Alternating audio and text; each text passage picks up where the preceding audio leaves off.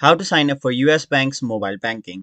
Hey everyone, welcome back to another tutorial video. In today's video, I'll show you how you can sign up for US Bank's online banking or mobile banking. So to do that, first of all, download the US Bank app from either your Play Store or your App Store. And once you've downloaded the app, simply open it. Now, once you've opened the app, your home page will look somewhat like this, where you'll have to simply tap on the option Create a Username and Password. After that, you will be taken to this page where you'll have to first of all enter your card or account number over here. Now, once you've done that, you'll have to enter the last four digits of your social security number over here. Simply enter that and then tap on the option continue.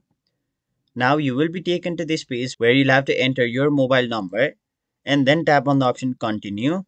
After that, they will send a six digit verification code to your phone number. So simply enter it over here. And once you've done that, tap on the option continue. Now you'll have to create a new username for your online and mobile banking account. So simply enter it over here.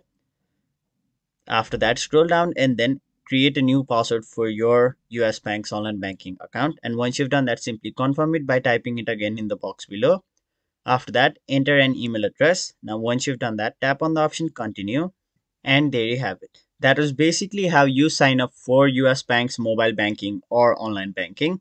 That was it for this video. Hope this video was helpful to you guys and if it was, make sure you like this video and subscribe to our channel so that you don't miss out on further videos such as these.